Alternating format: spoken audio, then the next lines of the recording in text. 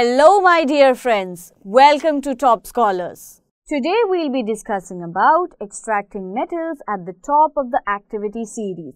So now friends, what do we mean by highly reactive metals? We know about the reactivity series, right? The metals which are placed at the top of the reactivity series, they are said to be highly reactive, right? Because reactivity series is simply the arrangement of metals in an increasing or decreasing order of their reactivity. So, the metals which are placed at the top of the activity series are said to be highly reactive. This is because these metals they have a very large tendency to lose electrons and thereby result in the formation of cations, right.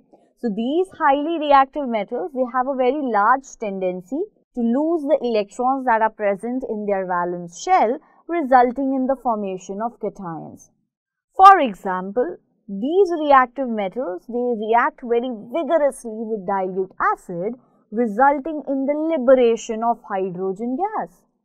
Also friends, if we talk about these highly reactive metals, they react with oxygen at room temperature and thereby these metals need to be extracted by electrolytic reduction. For example, highly reactive metals such as sodium, calcium, magnesium can be extracted by carrying out the electrolysis of their molten chloride salts. That is, sodium metal can be obtained by carrying out the electrolysis of molten sodium chloride. Calcium can be obtained from calcium chloride. Similarly, magnesium can be obtained from magnesium chloride. So, during electrolysis, what happens is the metal gets deposited at the cathode whereas chlorine gas gets liberated at the anode. For example, let's consider the electrolysis of molten sodium chloride. So, what happens is at the cathode, sodium metal gets deposited, right. So, over here you can see at the cathode, there is gain of electrons, right. Now, since there is gain of electrons, we can say that at the cathode there is reduction which takes place. Whereas at the anode what happens is the chloride ions they lose electrons, right? So, loss of electron is called as oxidation exactly. So, at the anode oxidation takes place. So, as you can see over here, at the cathode we have sodium metal which gets deposited whereas at the anode we have chlorine gas which is liberated.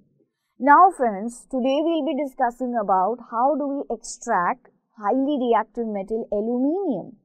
Now friends, if we talk about aluminium, its atomic number is 13. So its electronic configuration is 2, 8, 3 which means that how many electrons are present in the valence shell? 3 electrons. So, the valency of aluminium becomes 3 exactly. Now, friends, since aluminium is placed at the top of the reactivity series, it is a highly reactive metal and thereby aluminium does not occur in nature in the free state. It occurs in the combined form. After oxygen and silicon, aluminium is the third highly abundant element which is found in the earth's crust. In the earth's crust, aluminium is found in the form of bauxite. That is aluminium oxide dot XH2O. X stands for the number of water molecules. So, in the earth's crust, aluminium is found in the form of bauxite which is an ore of aluminium. So, aluminium can be extracted from its ore that is bauxite, right. Now, friends, Bauxite not only contains aluminium but it also contains certain impurities. These impurities are called as gangue. Now the percentage of aluminium oxide that is present in bauxite is about 30 to 70 percent whereas the remaining part is made up of impurities that is gangue.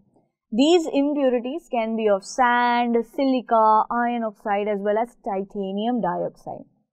So friends, what we are going to discuss today is how can we actually extract aluminium from its ore that is bauxite. And as we discussed, bauxite ore it contains about 30 to 70 percent of aluminium oxide whereas the remaining part is made up of gangue And what is gangue? Gangue is simply the impurities.